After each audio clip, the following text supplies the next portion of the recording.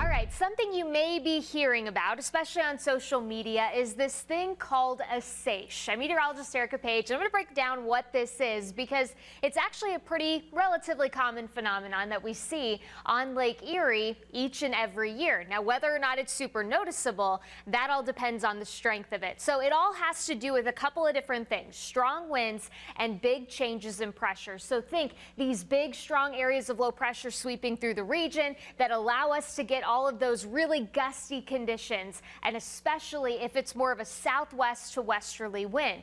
That's where you can see these become a bit more apparent. And we see them mostly on closed bodies of water.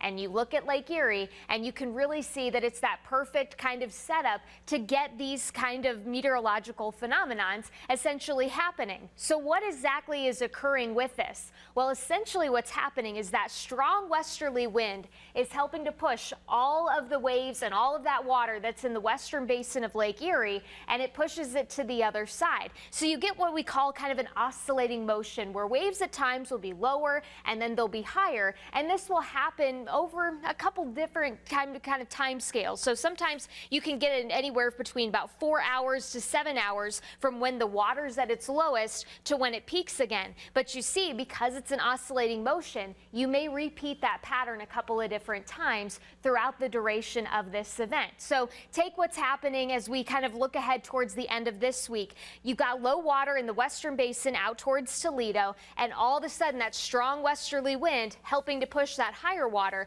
the farther east you go across Lake Erie. And what happens is a lot of times when we see these setups occurring, you'll see these low water advisories issued. Places like Sandusky out towards the islands, this is where you can tend to see it at least here locally in our area. But what happens on the other side is for folks out towards the Buffalo area. A lot of times you get what we call these lakeshore flooding type setups, and sometimes that can also have an impact on some of the rivers, creeks, and streams that feed out of Lake Erie. But it's because you're piling up all of that water and it has nowhere else to go. Now, at some point, this system will exit off towards the east and everything will resume back to normal, meaning all of that water that you piled up in the eastern basin now has to work its way back and backfill back towards the western basin. So it does happen, and it usually happens on a little bit of a quicker time scale. So we never want folks out in, say, the western part of Lake Erie if you were to be able to see the bottom, just because you do have that return flow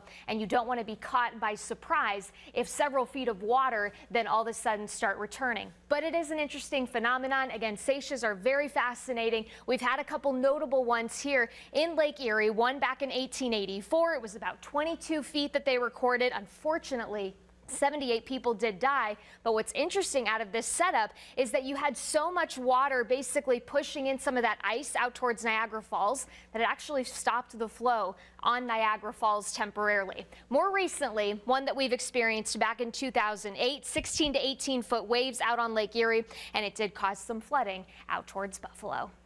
Now, your 19 First Alert forecast, certified most accurate since 2004. Safe.